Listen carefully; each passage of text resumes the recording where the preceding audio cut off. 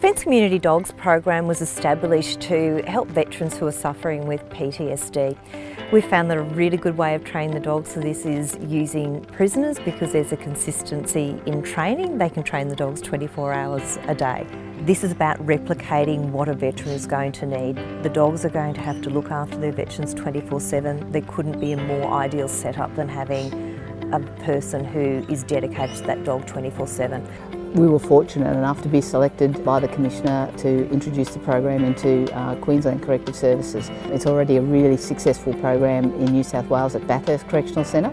So yeah, so we were really thrilled and very honoured to be uh, the first Queensland Centre to be taking the Defence Community Dogs program on. Having a partnership with Numinbah is an amazing opportunity for us to expand the program but also to have a really strong presence in Queensland. There is a large concentration of veterans who are based in Queensland so having access to a ready trained assistance dog is going to be an enormous benefit for the local people in Queensland. Arch, I call him my archangel. He's, um, he's a lifesaver and a life changer. Being a single veteran, I would sort of spiral in my thoughts. Um, he, and it's, it's, hard to ground yourself. So having a companion or Archie, if you do zone out, if you do get stressed, he can ground you and, you know, so it, it works wonderfully well.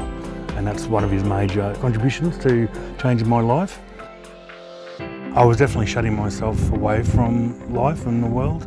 So now with him I do have the confidence to go out and about and all that stuff. So yes, that's a big difference. Just recently, Arch and I went to the State of Origin. That's something we probably could not have done before. So yeah, life has definitely improved uh, for, for me and for him I think as well, being a rescue dog.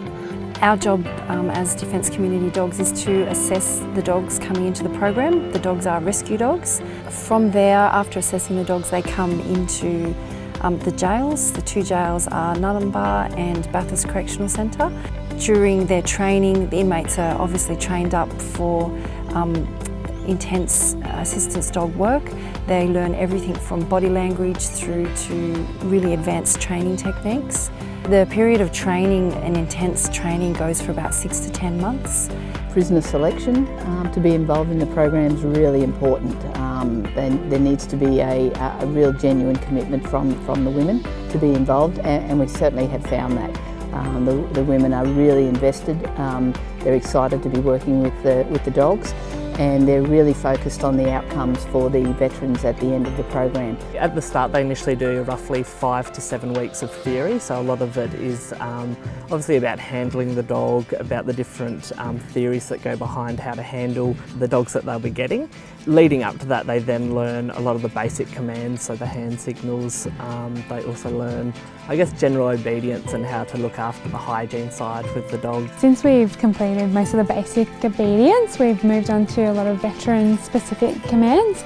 A lot of them are um, buffers that allow the veteran to have some space, um, providing personal space. So we had the front block, um, that one's really useful in a kind of very crowded situation, just providing um, the buffer from um, people oncoming essentially. Um, we also have a back block position. The back block is there to be support for the veteran if they are facing, say, for instance, an ATM or um, somewhere where they might feel their backs exposed and the dog's just there and a bit of comfort. So often the dogs will apply a bit of pressure there and just a shift of weight and things like that's just quite a comfort for the dog. The dogs also perform the rest command um, and so that command is where the dog's head is placed on the handler's lap and provide a bit of support and focus if they're, if they're starting to feel themselves become anxious and just need need that grounding as such. Um, another behaviour they perform is a stress interrupter behaviour. When you're performing a behaviour you're not aware of necessarily, so it might be leg tapping or starting to wring your hands, the dogs will come and interrupt those behaviours. We do encourage the dogs um, as more of a complex skill in the house to collect items for the handler um, and bring them to them on cue as well as place items in general locations, so in the rubbish bin or in the washing machine.